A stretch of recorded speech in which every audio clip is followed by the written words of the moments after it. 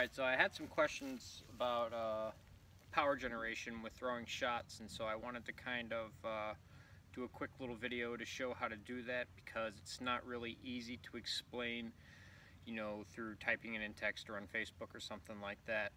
Um, the number one thing you always want to keep in mind uh, when throwing and trying to generate power is that that is not intended to come all from your arm. Uh, the power that you throw in your shots is largely generated uh, from your legs on up through your body and torso through mechanics uh, with hip rotation as you throw a shot.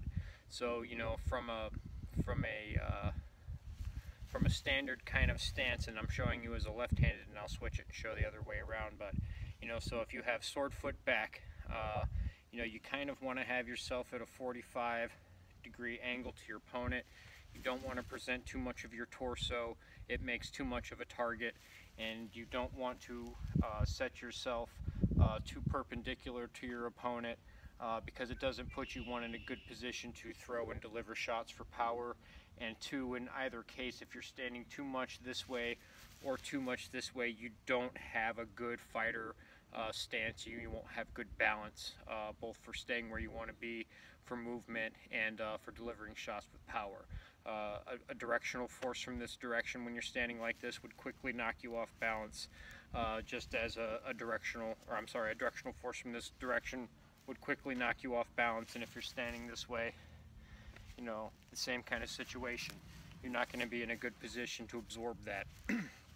If you're in a good fighter stance 45ing it shoulder width apart with the legs knees bent kind of want to be up on your toes. You want to be able to sort of feel your whole center of mass kind of just drape down, uh, you know, as if you were hanging down a leveling tool. You know, it's just going to come straight down and be centered right there. And so that, that gives you good ability to position.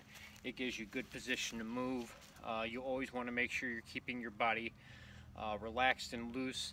Uh, not all tensed up, that makes it uh, more difficult to move. So if you're tensed up, and someone does something, uh, you've got to release muscles before you can react and, and, do something with those muscles. If you're loose, boom, you're ready to go right away. Um, so with the power, you know, and again, if I'm showing from a standard right-handed stance, you know, you want to be 45, leg kicked out a little bit, shoulder width apart, centered up, you know, almost kind of ready to be bouncy. You know, and so when you're delivering that shot, you know, this is the shield arm, you know, and say you've got your, your, your sword up in this direction, that power comes from this rotation. You know, it's almost a dip and a drive. A dip and a drive, and you're driving off that back leg as you ro rotate through with the torso, and that's a force uh, pusher as well as that rotation. And then your arm is sim simply acting as the medium which is delivering the strike.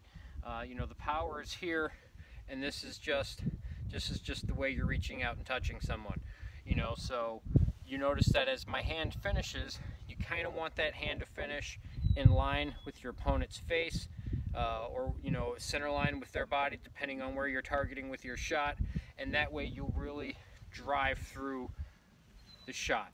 Now the rotation it's just kind of here here here here here and there's almost a little pop at the end if you can you don't want to lock your elbow up because you're going to hurt yourself but you do want to drive, rotate, and drive. You know, so if I'm doing that here, I'm going to go back to my left-handed stance for just a second. You know, so I'm here, I'm in my guard, wham. And that power comes from this turn, this rotation, and this mechanism. And when you get that flow and that sequence for when that goes, power's just there. And so when you come over and you do that on your pell, my pell looks like hell. Uh, you know, so you're here and you're just delivering it. So it comes in, bang, there's the power. Bang, bang, bang. And that's not from the arm, that's from this. That's from that rotation. Uh, that's a quick thing I got right off the right off the bat. Um, if you have any questions with that, feel free to ask. Uh, I'm sure I could cover that a little bit better in a little more detail. Uh, but that's a start. There you go.